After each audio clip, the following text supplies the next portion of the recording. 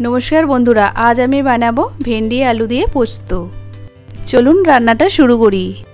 একটা আলু আমি লম্বা করে কেটে রেখেছি।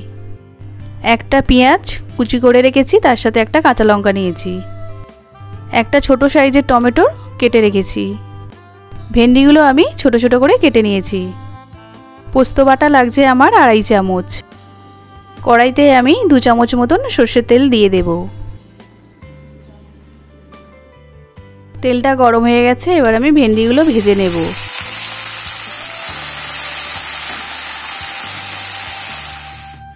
ভেন্ডিটা ভাজা হয়ে গেছে, এবার তুলে নেব। কড়াইতে আমি আবারও কিছুটা সর্ষের তেল দিয়ে দেব। তেলটা গরম হয়ে গেছে, এবার আমি পেঁয়াজ কুচিটা ওর মধ্যে দিয়ে দেব। একটা কাঁচা লঙ্কা দিয়ে দেব। আলুগুলো ওর মধ্যে দিয়ে দেবো। এবার আমি এটা হালকা করে ভেজে নেব।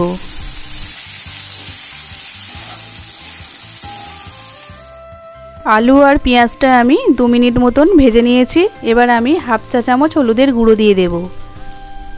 লঙ্কার গুঁড়ো দিয়ে দেব হাফ চা চামচ। এবার পোস্ত বাটাটাও আমি ওর মধ্যে দিয়ে দেব। বাটি ধোয়া জলটাও আমি একটু ওর মধ্যে দিয়ে দিলাম। দিয়ে আমি এবার এটা ভালো করে একটু কষে নেব।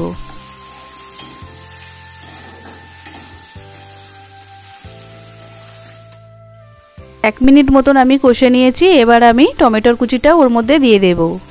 নুন দিয়ে দেব পরিমাণ মতন। দিয়ে একটু নেড়ে নেব।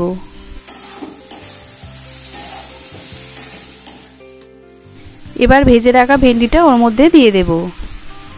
দিয়ে একটু নেড়ে নেব।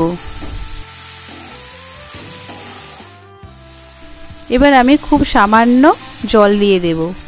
আলু আর ভেন্ডিটা সিদ্ধ হওয়ার জন্য। এবার গ্যাসটা মিডিয়ামে দিয়ে পাঁচ মিনিটের জন্য আমি চাপা দেব।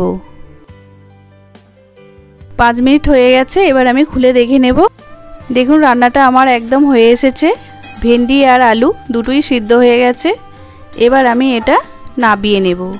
এইরকমই আরও নতুন ভিডিও দেখার জন্য চ্যানেলটি অবশ্যই সাবস্ক্রাইব করে নেবেন।